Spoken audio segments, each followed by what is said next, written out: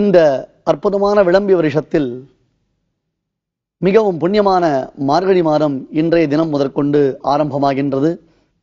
ஆண்டாள் நாச்சியார் சங்க தமிழ் மாலையாக பைந்தமிழ் பாசுரங்களாக முப்பது பாசுரங்கள் பாமாலையாக பாடி அந்த கண்ணனை நாம் எப்படி அடைவது என்று தன்னுடைய பாவை நோன்பின் மூலமாக வழிகாட்டுகிறாள்.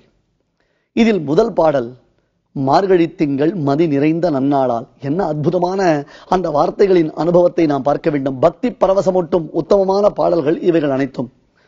ஆண்டாள் தன்னையே கோபியாக மாற்றிக்கொண்டு எப்படி திருவாய்ப்பாடியில் அந்த பெண்கள் கோபிகள் கண்ணனையே எல்லாவுமாக நினைத்து அவனிடத்தில் அவர்கள் இருந்தார்களோ அதே போன்று தற்பொழுது வடமுதிரை மைந்தனான கண்ணனை குறித்து தென்மதுரை திருப்பதியில் ஸ்ரீவில்லிபுத்தூர் திவ்ய கஷேத்திரத்தில் ஆண்டாள் அந்த பாவை நோன்பை செய்து வருகிறாள்.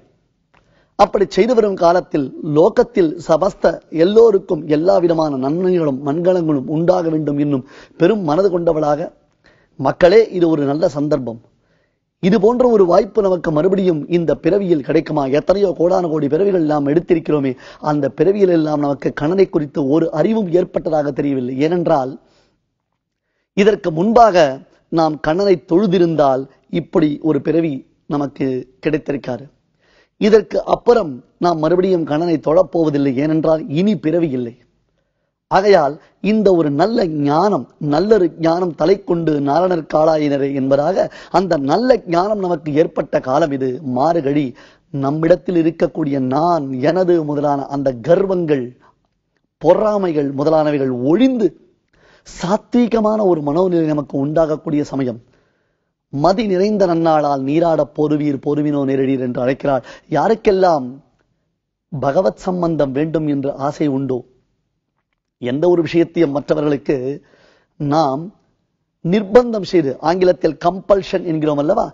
மற்றவர்களை நிர்பந்தம் செய்து பணிய வைத்து விட முடியாது. ஆகையால் தான் ஆண்டாளை சொல்லும் பொழுது நீராட போர்வீர் போர்வினோ நேரடியீர் யாருக்கெல்லாம் பகவத் சம்பந்தம் வேண்டும் என்று ஆசைப்படுகிறீர்களோ வாருங்கள். அங்குள்ள பெண்கள் எல்லோரும் மிகவும் அழகு வாய்ந்தவர்கள். காரணம் அவர்களுக்கு கண்ணனுடைய சம்பந்தம். அதுவும் காதல் மணாளனாக கண்ணனையே நினைத்திருப்பவர்கள். கண்ணனை தாங்கள் அடைவதற்கு ஒரு காலத்தை எதிர்பார்த்து காத்திருப்பவர்கள். ஆகையால் நேரிழையீர் அழகியதான ஆபரணங்களை அணிந்து கொண்டு ஸ்திரீநாம் பிரியாலோக பலோகி வேஷாக என்பார் மகாகவி காளிதாசன். பெண்கள் தங்களை அலங்கரித்துக் கொள்வதனுடைய காரணமே காதலன் கண்டு கழிப்பதற்காகத்தானே கண்ணன் என் காதலன் என்று ஒவ்வொரு பெண்ணும் அந்த கண்ணனுக்காகவே காத்திருக்கும் காரணத்தினால் நேரிடையே ஷீர் மல்குமாய்ப்பாடு செல்வச் செருவீர்கள். தன சமிருத்தி தானிய சமிருத்தி கோ சமிருத்தி க்ஷீர சமிருத்தி என்று தானியங்கள் எங்கும் நிறைந்திருக்கின்றன. காசுபணத்திற்கு திருவாய்ப்பாடியில் குறைவு என்பது கிடையவே கிடையாது. நல்ல உயர்ந்த பசுக்கள் வாங்க வாங்க குடன் இருக்கும் வள்ளல் பெரும் பசுக்கள் என்று இனி வர்ணிக்கப் போகின்றாள். நாம் கொண்டு சென்று பாத்திரத்தை வைத்த மாத்திரத்தில் தானாக பாலை சுரக்குமாம் அந்த பசுக்கள். ஏனென்றால் அவைகள் வெறும் பருத்தி கொட்டை புண்ணாக்கு வைக்கோல் புல் முதலான தீவனங்களால் வளர்பவை அல்ல. கண்ணனுடைய கரஸ்பரிஷத்தினாலே அவன் அவைகளை தடவி கொடுத்து வளர்க்கின்றன வளர்கின்றன. செல்வச் சிறுமீர்கள் இத்தகைய பெரும் செல்வங்கள் நிறைந்திருக்கக்கூடிய திருவாய்ப்பாடியில் தற்பொழுது மழை பொய்த்து விட்டது யமுனா நதி பெருக்கெடுத்து ஓடக்கூடிய திருவாய்ப்பாடி வானம் பார்த்த பூமியாகிவிட்டது. ஆகையால் தான் இந்த விரதத்தை தொடங்குகிறாள் ஆண்டாள்.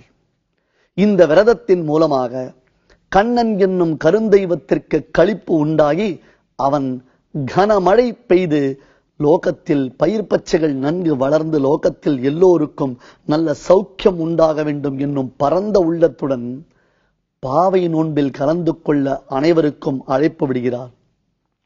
சீர்மல்குமாய்ப்பாடி செல்வச் சிறுவீர்கள் யாரை குறித்து பாட வேண்டும் என்ன பாட வேண்டும் எப்படி பாட வேண்டும் என்னும் ஒரு கேள்வி வரும் பொழுது கூறுவேல் கொடுந்தொழிலன் நந்தகோபன் குமரன். அந்த நந்தகோபன் பரம சாத்வீகன் அவனை போன்ற ஒரு மகாத்மாவை காண்பது அரிது. அப்படிப்பட்டவர் நெடுநாள் தவமிருந்து ஒரு பிள்ளையை பெற்றெடுத்திருக்கிறார். அந்த பிள்ளை தொட்டிலில் இட்டு தாளாட்டிக் கொண்டிருக்கிறார். அப்பொழுது கீழே அந்த தொட்டிலுக்கு கீழே ஒரு எறும்பு போனது என்றால் கூட ஆஹா நம் பிள்ளைக்கு ஆபத்து என்று புலியின் மீது பாய்வதைப் போல ஒரு கூர்வேலை கொண்டு அந்த எறும்பின் மீது பாய்வாராம். கூர்வேல் கொடுந்தொழிலன் நந்தகோபன் குமரன் கண்ணன் தன் தந்தையாருக்கு கட்டுப்பட்டு இருப்பவன் இக்காலத்து பிள்ளைகளின் செயல்பாட்டுகளை எல்லாம் நாம் கண்ணனுடையதான கதையில் பார்க்கலாம். அப்படி கணனுடைய அழகியரான அந்த வடிவழகை பார்த்து கண்கள் விரிந்திருக்கக்கூடிய யசோதை ஏறார்ந்த கண்ணி அவள் தம் இளஞ்சிங்கம் கருத்த மேகத்தைப் போன்று திருமேனி உடையவன் அந்த மேகத்தில் தாமரைப்பூ பூத்தார் போல் அழகிய திருக்கண்களை உடையவன் அவன் கண்ணன் அவன் நாராயணன் அவன்தான் நமக்கு மோட்சத்தை அருளுபவன் அவன்தான் நமக்கு வேண்டிய அனைத்து நன்மைகளையும் அருளுபவன். அப்படிப்பட்ட கணனை குறித்து மார்கழி நோன்பு பாவை நோன்பு என்னும் இந்த உயர்ந்த விரதத்தை நாம் உலகம் போற்றும்படி நடத்தலாம் வாருங்கோள் என்று அழைக்கிறாள் ஆண்டாள்.